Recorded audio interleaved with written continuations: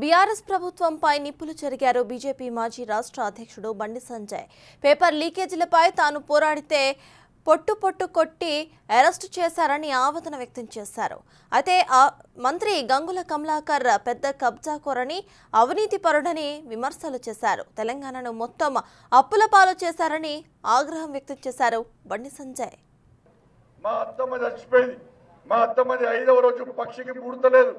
పక్షికి ముడతలేని చెప్పి నా భార్య ఫోన్ చేస్తే అర్ధరాత్రి కరీంనగర్కి వస్తే నువ్వు నిన్న పేపర్ల లీకేజ్ కోసం నా మీద కొట్లాడతావన్న కేసీఆర్?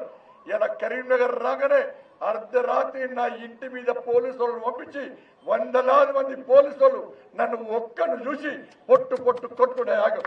పొట్టు పొట్టు కొట్టుకుంటా ఇవాళ నన్ను రాత్రంతా తెలంగాణ మొత్తం తిప్పి తిప్పి ఇలా పొద్దున జైలు పంపిన కరీంనగర్ అన్నాను పిల్లల కోసం కొట్లాడితే జైలు పంపినాడు ఇలా ఉద్యోగస్తులకు జీతాలు వస్తలేవు.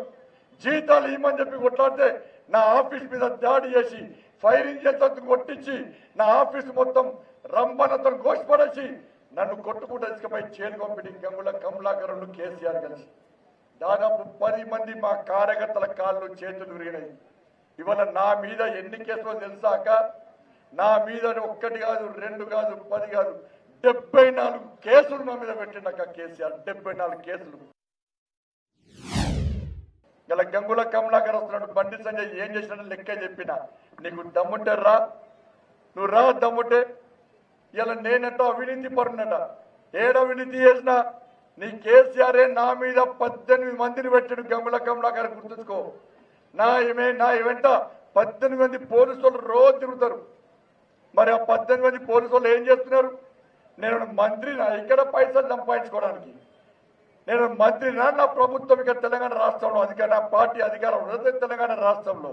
నీలక బియ్యం పైసలు దొబ్బిపోయినా నీలక ల్యాండ్ కబ్జాలు చేసినా నేవన్నా నీలక గ్రానైట్ దందా చేసినా నేవన్నా ఇవాళ నువ్వు పొట్టు పొట్టు పైసలు సంపాదించి నీకు టికెట్ ఎందుకు ఇవ్వాలి చెప్పరాదు? ఇదే కేసీఆర్ టికెట్ ఇవ్వలేక ఐదు రోజులు టికెట్ ఇవ్వలే. లాస్ట్కు కేసీఆర్ పోయి పైసలతో అప్పుడు టికెట్ ఇచ్చినాను లక్షల కోట్ల అప్పు చేసిండు కేసీఆర్. మీ ఒక్కొక్కరి పేరు మీద లక్ష ఇరవై వేల అప్పు చేసిండు కేసీఆర్. ఎవరు కట్టాలి? కేసీఆర్ ఎక్కడ చేస్తాడు కరెంటు బిల్లు పెంచిండు ఇంటి పన్ను పెంచిండు పెట్రోల్ ఛార్జ్ దేశం మొత్తం తగ్గిస్తే ఇక్కడ తగ్గాడు గ్యాస్ ఛార్జ్ బయట తగ్గిస్తాయి ఈయన తగ్గాడు ఇంటి పన్ను మొత్తం అన్ని ఛార్జీలు పెంచిండు ఆర్టీసీ బస్ ఛార్జ్ కూడా పెంచిండు. అన్ని ఛార్జీలు పెంచిండు. ఇవాళ మళ్ళీ మోడీ గారిని తింటుండే కాబట్టి మళ్ళా కేసీఆర్ గెలిస్తే మళ్ళా ఛార్జీలు పడతాయి.